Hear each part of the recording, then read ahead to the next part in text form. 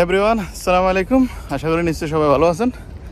দেখতে তো পাচ্ছেন আজকে আমি আবার আমাদের গার্ডেনে এই যে খেজুরের খেজুরের যে সাইডটা ওটাতে আছি। ওটাতে আছে এই জন্য আমাদের খেজুর গাছগুলোতে প্রায় ফুলগুলো এসে গেছে। ফুলগুলো এসে গেছে কিন্তু আমরা এখনও পরাগায়ন করা আমাদের পক্ষে সম্ভব হচ্ছে না। সম্ভব হচ্ছে না এই জন্য আমাদের যে মেল গাছগুলো আছে, ওগুলাতে এখনও ফুল আসে নাই। তো ফুল না আসার কারণে পরাগায়ন করা সম্ভব হচ্ছে না, তো আজকে বাইরে থেকে আমি কিছু ফুল কিনে নিয়ে আসছি। বাইরেও পাওয়া যাচ্ছে না, তারপর বাইরে থেকে কিছু ফুল কিনে নিয়ে নিয়ে আসলাম আজকে। তো আপনাদেরকে দেখাবো কীভাবে আসলে পরাগায়ন করা হয়, সেটা আপনাদেরকে দেখাবো ইনশাআল্লাহ। তো আশা করি আপনারা আমার সাথে থাকবেন, দেখবেন আশা করি।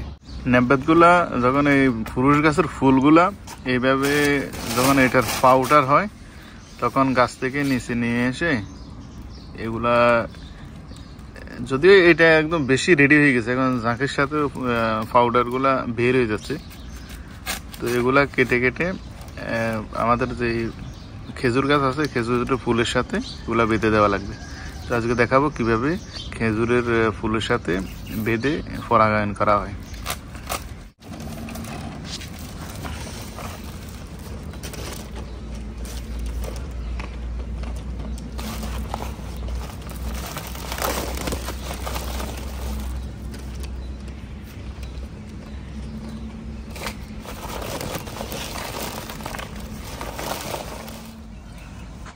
আমাদের মুকিত ভাই, উনি আমাদের এখানে প্রায় আটশো গাছ আছে। সবগুলার পরাগায়ন এখন উনিই করবে। তবে ছোট ছোট যেগুলো আছে, যেগুলোর উপরে উঠা লাগে না, ওগুলো আরও কিছু মানুষ আছে, ওনারা করবে। তবে বড় গাছ, বড় গাছের ওস্তাদ হচ্ছে উনি। কারণ বড় গাছে সবাই উঠতে পারে না, ওনাকে উঠা লাগে বড় গাছে। আর যখন খেজুরের সিজন আসে, তখন এই মুকিত ভাইয়ের কাজের শেষ থাকে না, তখন এর কাজের সবচেয়ে বেশি থাকে এর কাজ। একদম খেজুর নেওয়া থেকে শুরু করে এটা লাস্ট বস্তাবন্দি করা পর্যন্ত। সবগুলো ওনার হাতেই করা হয়।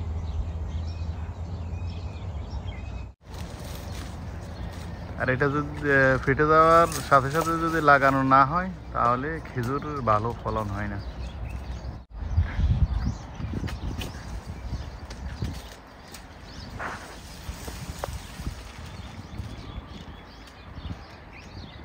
এই যে এইভাবে উপরে নিয়ে এটার মাঝখানে দিয়ে তখন বেঁধে দেওয়া লাগে ফুলের মাঝখানে দিয়ে তখন হাত দিয়ে বেঁধে দেওয়ার আগে।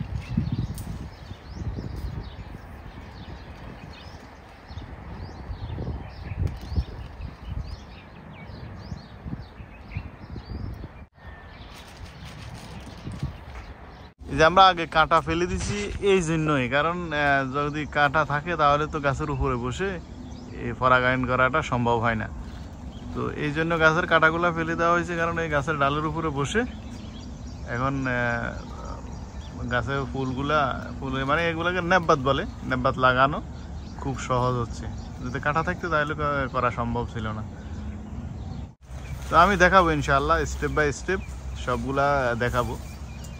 একদম খেজুরের লাস্ট সিজন পর্যন্ত দেখানোর চেষ্টা করব ইনশাআল্লাহ বিশেষ মুকিত বাইরে আজকে লাগাচ্ছি, লাগাইছি ওখানে পরাগায়ন করার জন্য। তো আমি দেখতেছি ওখানে আমার আদার্স যে মানুষগুলো আছে, ওনারা কি কাজ করতেছে একটু দেখি।